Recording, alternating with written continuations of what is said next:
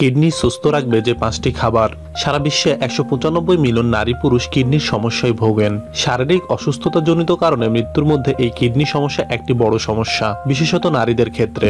এমন বেশ কিছু খাবার আছে যা খেলে আপনার কিডনি ভালো থাকবে। আমাদের আজকের এই ভিডিওতে রইল স্বল্প বিস্তর আলোচনা। এক, আপেল। আপেল শুধু আপনার কিডনি ভালো করে না, ব্রেনও ভালো রাখে।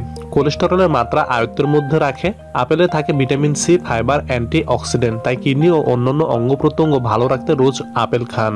দুই, রসুন। শুধু স্বাদ বাড়ানো নয়, রসুনের আরও বেশ কিছু গুণ রয়েছে। রসুন আপনার কিডনি ভালো রাখতে গুরুত্বপূর্ণ ভূমিকা পালন করে। রসুন কিডনি ফেইলিয়রের লক্ষণ যেমন রেলাল রেফিউজন ইঞ্জুরির সঙ্গে লড়াই করে।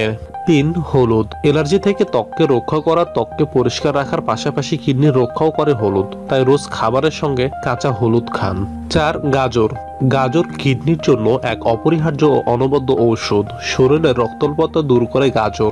চোখের জ্যোতি ফেরায় গাজর। ভিটামিন সি এ ভরপুর গাজর কিডনি থেকে টক্সিনস বাইরে বের করে দেয়। গাজরে থাকে পেকটিন, যা কিডনি ফেলিওরের হাত থেকে বাঁচতে সাহায্য করে। পাঁচ, আদা। কিডনিকে আরও কার্যকরী করতে আদা খাওয়া বুদ্ধিমানের কাজ, কারণ কিডনিকে ভালো রাখতে আদা গুরুত্বপূর্ণ ভূমিকা পালন করে থাকে। আদা কিডনিতে রক্তের চলাচল বাড়িয়ে কিডনিকে সচল ও সুস্থ রাখতে সাহায্য করে। এর ফলে কিডনির কর্মক্ষমতা আরও বেড়ে যায়। পরিশেষে ছোট্ট একটি অনুরোধ, এই ভিডিওটি যদি আপনার একটু ভালো লেগে থাকে, তাহলে অবশ্যই লাইক, কমেন্ট এবং শেয়ার করুন আর সাবস্ক্রাইব করে আমাদের পাশেই থাকুন। ভালো থাকুন সবাই, খুব ভালো থাকুন।